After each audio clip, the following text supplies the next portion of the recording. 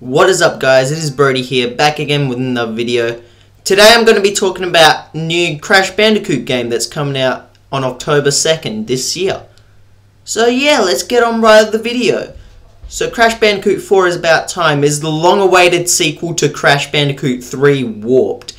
And judging by the trailers, gameplay, and other information, it looks like it's going to be worth the wait. And in this video, I'm going to be talking about my thoughts and opinions on Crash Bandicoot 4 so far.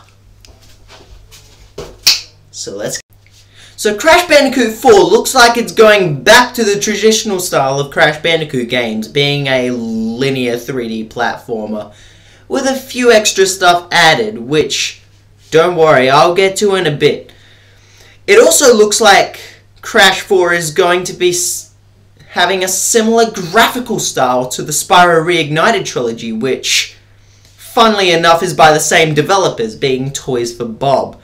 Which so far I'm really liking, and I think it suits the style of Crash Bandicoot.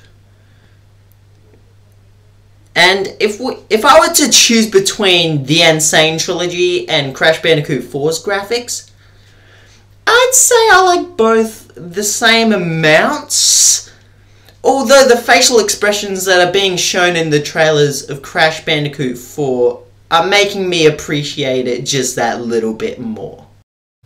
I've already touched on the gameplay a little bit in the presentation thing about it staying true to traditional Crash and all that, but in this game it looks like they're expanding upon the formula with new features, such as rail grinding, rope swinging, and wall running. But I'm not stopping there because They've also introduced a few new mechanics to the game, being the four new characters known as the Quantum Masks, which they all have their own unique names and personalities apparently. But we'll see once the game comes out. We've already seen one of them, but yeah. And they will each have their own little abilities that will help Crash throughout his journey which is also a very welcome addition to the game as it spices things up when it comes to the platforming.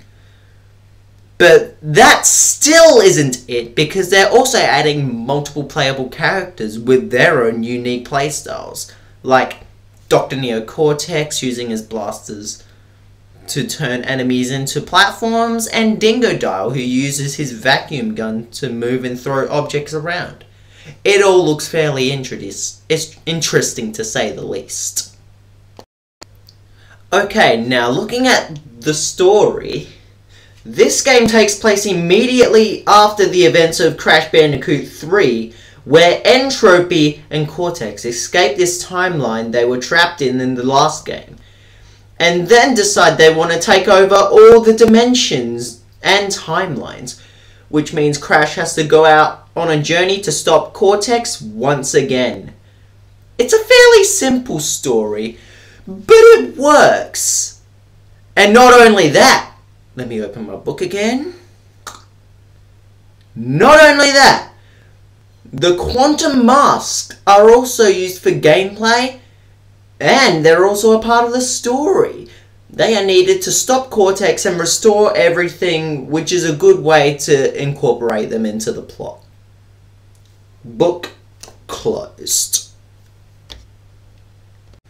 So those are all my opinions on Crash Bandicoot 4. It's about time so far.